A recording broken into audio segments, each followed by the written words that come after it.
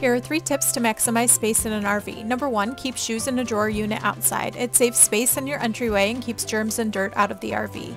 Number two, magic bags. These space-saving bags give you three times more space and protect your items. We're using them for fleece sheets, extra blankets, winter coats, and hats. They have freed up so much space for us. Number three, utilize every inch of your cabinet space. Shelves give you double the space to store things. In our pantry, using shelves has given us the ability to do Costco hauls, RV style of course, since we're usually about an hour away from their stores. Staying organized is really key to living in an RV. Subscribe to Why Not Wander for more RV living tips.